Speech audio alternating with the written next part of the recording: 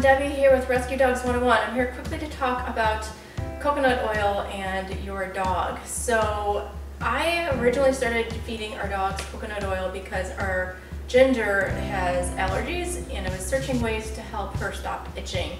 Um, I went through a bunch of different foods and actually um, she's on a limited ingredient diet so that's helped quite a bit but also the coconut oil added to her food helps just reduce the itching. Um, even with the change of food, she still itches a little bit, so the coconut oil definitely helps reduce that. Um, it also is great just in general, even dogs that are healthy um, with their coat, get it nice and healthy and shiny.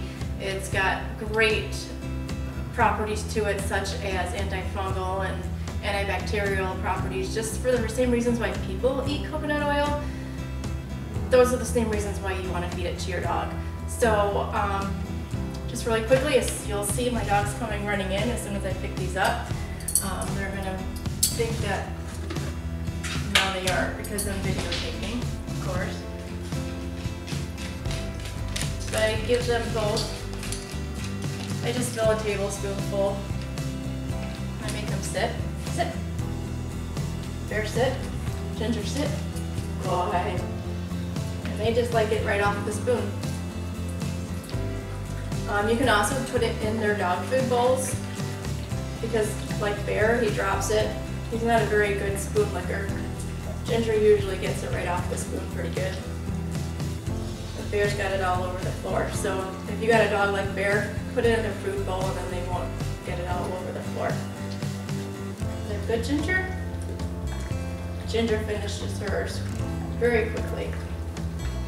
You can tell she's just trying to get every last drop off of that spoon she wants bears.